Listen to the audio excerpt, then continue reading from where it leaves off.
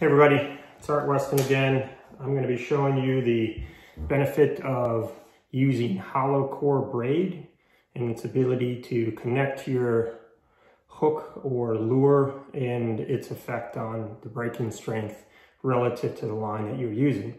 So uh, as in prior videos, I was demonstrating the use of Seaguar Threadlock, which is a 16 strand hollow core line, whereby if you use a special little needle implement, you're allowed to push the line back into itself to create basically a loop um, where it's feeding back into itself and then the end of the line terminates back inside the line. So what's cool about that is it doesn't come apart and it's like a Chinese, Chinese finger cuff. Um, the stronger there's a pull, the more um, secure it actually is. So then the benefit of this loop is you can take uh, your hook um, eye or lure eye, you just simply put the loop through it and then put the hook or lure back through and you've got a connection like that.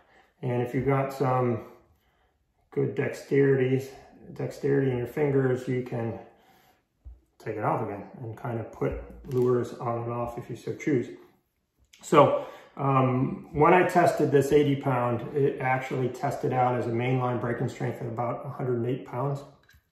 And then in other videos, I showed that uh, single Palomar, double Palomar would break at around 61 pounds. So that's about 57% of the mainline's breaking strength, which is a bit disappointing, um, but I've seen worse when it comes to braided line and knots. Those knots tend to dig into themselves because of the lack of stretch uh, in braided line, um, and they tend to break well under um, their stated line classes. Um, so I'm going to prove that the, the loop is a much better alternative if you so choose to engage in using things like needles and otherwise. It's actually not that hard when you get used to it. I've been using loops um, as a uh, lure connection point now for, I think, five to seven years. Um, I've done thousands of them. Um, I have never had a loop break. Um, I've only had mainline breaks. Um, so that gives you a bit of indication that I've had zero cases in which the connection to the hook or the lure has ever failed um, using hollow braid. Um, now, the bummer with hollow braid is there's not that many manufacturers that make a wide variety of colors. Um, this Seaguar green is my absolute favorite, but they discontinued it. It just wasn't popular enough color. So they have a white and a blue. Um, so for South American and river fishing, that's uh, not a great set. I guess you'd go with white. Um, there's a couple other brands. Um, Power Pro makes an excellent um, called Hollow Core Ace uh, or Hollow Ace, um, which is a great alternative, but that also doesn't come in green. That comes in white, uh, blue, and yellow. Um, there is a Jerry Brown, um, I think it's called Hollow One. Uh, they make a green, and I think that's one of the only last alternatives. There's there's um, maybe one or two others that make a green, but um, they're kind of hard to find. Definitely no browns, which I'd um, ultimately prefer for Brazilian fishing. But anyway, let's prove that using the hollow uh, loop is better than a knot.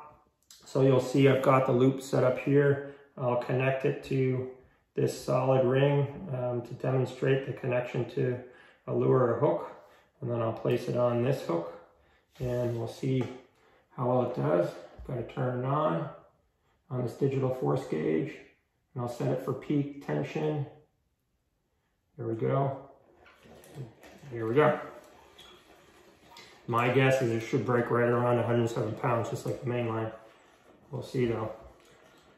30, 40, 60, 70, 90, 101.4. So um, slightly worse than the other mainline test I had, but it broke above um, the connection point. So that was a mainline break te technically. So just a little bit under uh, my other test that I did, but uh, it still represents a 100% strength connection because it did not break at the connection point. So hope you enjoyed that. Thanks.